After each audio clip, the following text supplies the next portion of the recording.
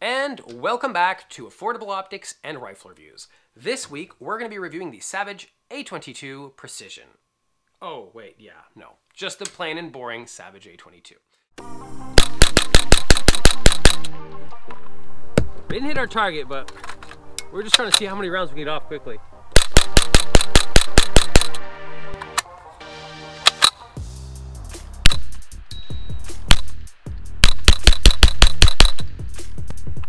Hit one.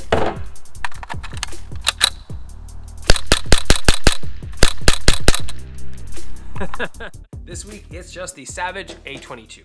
No bells and whistles, your basic, boring, well, maybe not boring actually, your basic configuration of the A22. So no iron sights, which I'm actually a little disappointed about because, I mean, if you pay a little extra, you can get iron sights.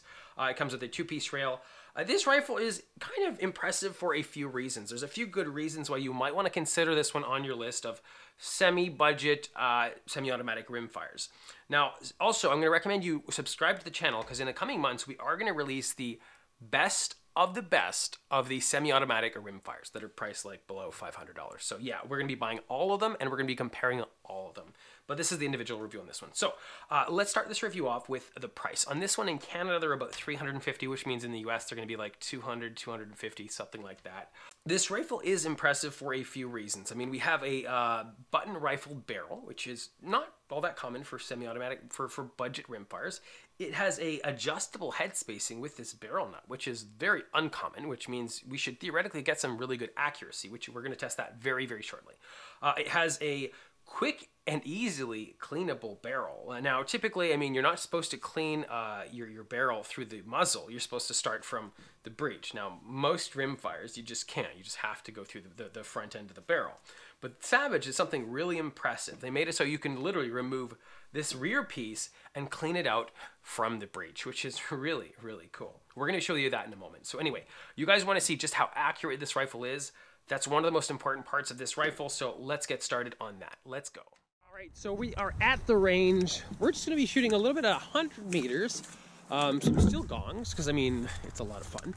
And we're to see if it's a decent plinking rifle, because a rifle doesn't inherently have to be a match rifle for I mean specifically at this price, as long as it can consistently hit a minute a squirrel. So this is what we're going to be shooting today. Our steel gong is just over there. looks a little small for you, but it's about like a eight, nine inch gong. I don't know, something like that. We'll measure it later.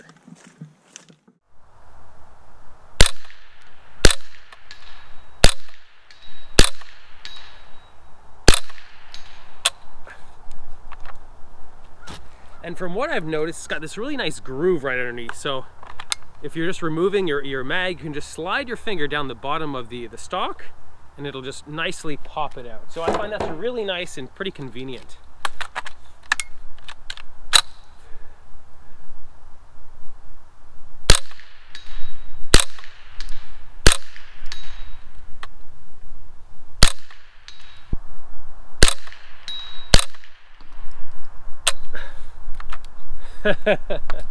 this thing is a lot of fun. Although, I mean, the trigger is pretty terrible.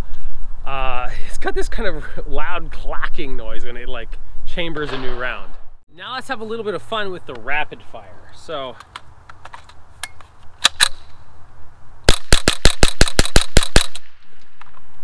we didn't hit our target, but we're just trying to see how many rounds we can get off quickly. I don't know if I hit one.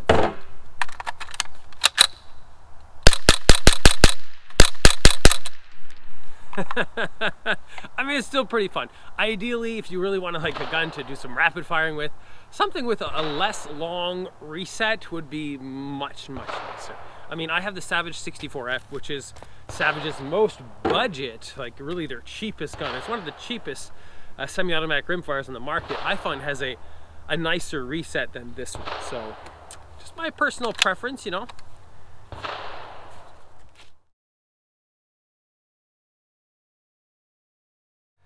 All right, so we're at 50 meters. We got the Savage A22. This is the SK long range, whoop. I don't know how that happened. This is the SK long range match.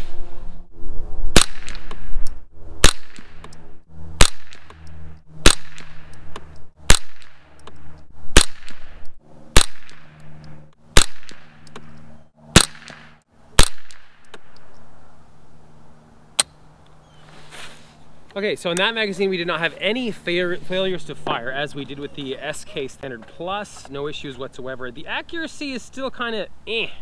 I mean, I'm really considering that most of the issue is largely attributed to the really cheap, flimsy stock. It's not conducive to good groups. Uh, it's touching a little bit on one side. Uh, I mean, you can't really expect, you know, works of wonder when you have a cheap stock.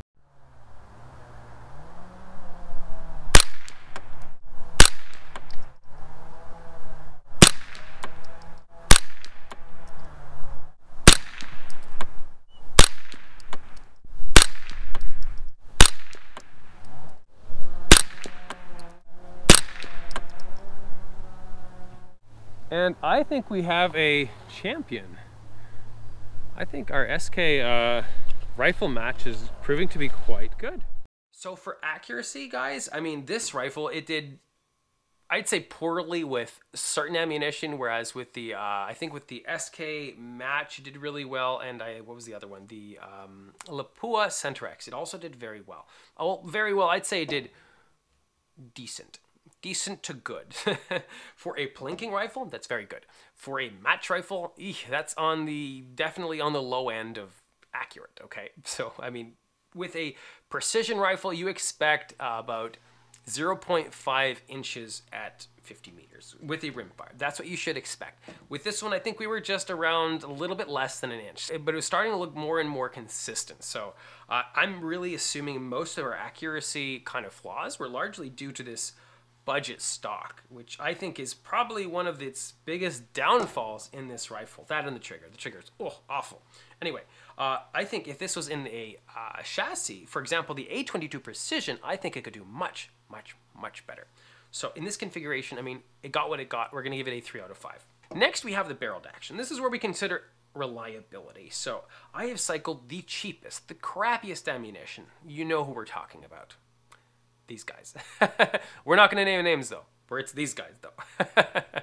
uh, this stuff is terrible. I mean, it doesn't cycle in many, many, many semi-automatic rimfires, which is typically not, well, I mean, I typically buy it just to see in these reviews if it'll cycle it. And I mean, it did amazing. It also cycled the good stuff just fine, except when we were doing some precision shooting with the uh, SK Standard Plus. It was feeding it just fine, but it would it would cycle the bolt, you'd hear click, Okay, and it just wouldn't fire the round. It's, it's kind of like a light primer strike. I'm not sure if their uh, if their cases are thicker or what the case is, but one out of five, one out of three would not fire. So that's a pretty high failure rate. Um, yeah, so for reliability, this barreled action is very, very reliable. We had no issues whatsoever. Uh, also, I mean, uh, let's while we're talking about this barreled action, I'm going to show you just how easy it is to take apart, uh, well, especially to clean your barrel. So you just literally you have this little pinhole in the bottom. I'm just going to use this little screwdriver and pop it open. Just do that. Press this little gray thing. You're going to need to twist it and out it goes. This is just your recoil type spring. You kind of shove this back, pull out the spring, and you can yank on the bolt and it comes right out.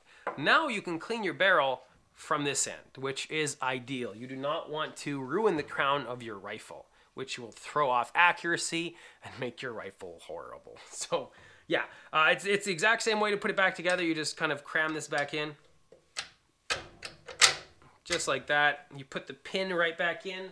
Um, you put the pin just back in like this. You put this uh, steel rod on a spring. There's a little hole here, which will be pretty obvious when you have it. You kind of gently apply some pressure in there and turn this and until it doesn't move. Now you know that you're not able to remove it. So you then twist this back into place and you're pretty much set. You just put your cap back on and you're done. That easy, which I find is amazing. I think this is kind of what they were thinking is let's do better than the Ruger 1022 that hasn't changed in like 50 years. and I mean, I think they did really good. I mean, I think they upgraded the plain, basic, boring plinking rifle to something that's fairly accurate for a plinking, very accurate for a plinking rifle, and easy to clean also for a plinking rifle. So yeah, I think they did pretty good. So for the barreled action, we're going to give it a 4 out of 5. Next, we have the trigger, which I think is probably one of the biggest flaws of this rifle. Well, that in the stock. Um, this trigger is... It's not really not that nice. It's got a long reset. It's got a lot of creep. It's really probably one of the worst trigger I've seen on a uh, plinking rifle. For example, I have their Savage 64F, which is pretty much one of the cheapest uh, rimfires that you can buy on the market today. And it has a better trigger than this one. I know, it's pretty bad. Okay, so um, yeah, there's so much creep in this. It doesn't break very cleanly. And also, if you play with this trigger, whole trigger housing assembly, it is so flexible. I mean, I know, since the Ruger 1022 has been out forever, we always tend to compare it to it because, well, it's kind of the, the most reliable semi-automatic rimfire. Uh, and if you compare both of these trigger um, housing assemblies, like the Ruger is like rock solid, whereas this one, I mean, you could, I feel like I could almost snap it in half if I gave it a good jerk. But uh, I mean, in its stock, that that really won't happen because it's protected, obviously. But I mean, yeah, the trigger is downright disappointing. We're gonna give it a two out of five. And also at the uh, the factory, was like weighing about 4.4 pounds, and not very consistent. 4.4, 5. So next we have aftermarket support. So if you wanted to change out the stock, you can do that. Boyd's has some. If you want to get some rails, they do make them. That's not a problem at all. Uh, if, I mean, if you really wanted the best stock, just go with the Savage A22 Precision. Don't waste your time. Just buy the best of the best. I mean, we're looking at getting one reviewed probably in the uh, January, February. So, I mean, stay tuned for that. Um, but yeah, this is this is probably one of the main factors that caused our accuracy to kind of be adequate to good, not good to great. Next, we have uh, is this stock free floated? No, it's not. Definitely not. It's touching on the right side. I mean, I'm not going to slide a piece of paper down there because it's literally touching. So, no, it's not free floated.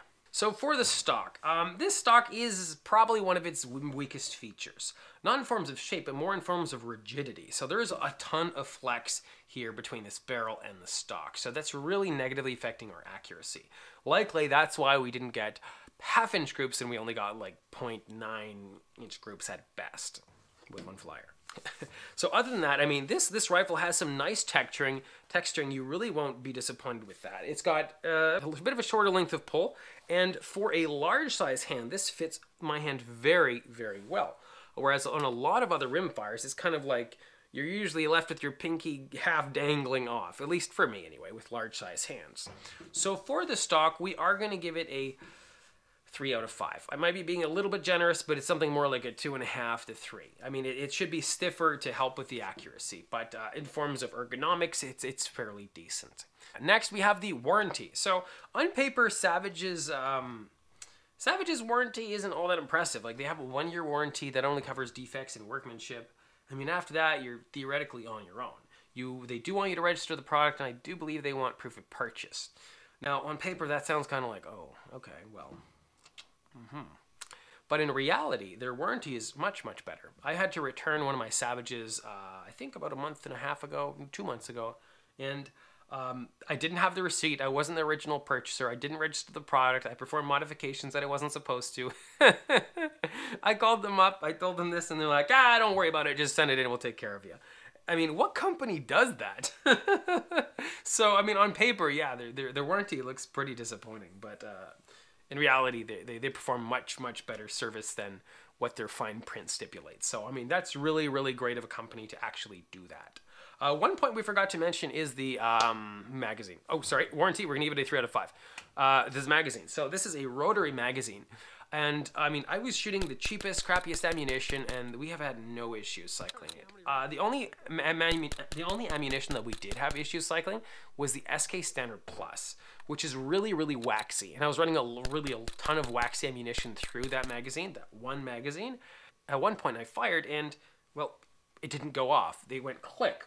So I was thinking, okay, let primer strike. I opened the, the action and there was no round in the chamber. I removed the magazine and I'm like, well, I fired five. I'm pretty sure I loaded it to 10, but the magazine's looking empty. But if I tilt the magazine, I could tell there were some rounds kind of in the side. So um, I banged it on the table and it, it rotated, obviously. So my impressions are that a lot of this waxy ammunition, the wax gets stuck around the inside, well, around the outer side of the inside of this uh, magazine, and it causes it to kind of like slow down and kind of stop. So um, that's something to note. But I mean, all the other ammunition, we I ran probably about 600 rounds through this rifle. No hiccups whatsoever, other than the one I just mentioned. But like, this thing runs bloody reliably all the worst ammunition in this thing runs great. So if you're looking to pick up a good plinking rifle, I would definitely add this one to your list of, uh, of plinking rifles. I mean, we have the Savage 64F, and I've had, sorry guys, a lot of issues with it. Um, this is my second Savage 64. This is the Savage A22, by the way. I have a Savage 64. It looks like this. This is the second one I've bought. I only bought the second one to review it, just so I can get a review done on it. But my first one had tons of failures to feed, and this one has failures to fire. Not sure why. I mean, even after cleaning it, it had failures to fire. I cleaned it again, and it seems to be running, you know, semi-reliably. So in my opinion, this is kind of Savage take on making a reliable, like bulletproof, reliable semi-automatic rimfire. And I think they did a really, really good job. I think well, the features that they did to this rifle is going to be really, really nice. And one thing to note about this magazine, I find they did a fantastic job at designing this, like especially with this stock. So if you really want to quickly remove your magazine, you can easily slide your finger down the middle of your stock and remove it. So quickly and nicely like that. So contrarily to the, let's say the Ruger 1022, which you kind of got to get in there and fiddle, this one you can nicely just slide your finger down the middle and remove it. And it's actually fairly nice and easy to throw back in. In my opinion, probably a bit easier than the Ruger 1022. And for those of you who want to know which one you should get, this one over the Ruger 1022, we are going to be doing a comparison video for you guys on that. So stay tuned, hit that like, hit that subscribe, um, and yeah, see you on the next review.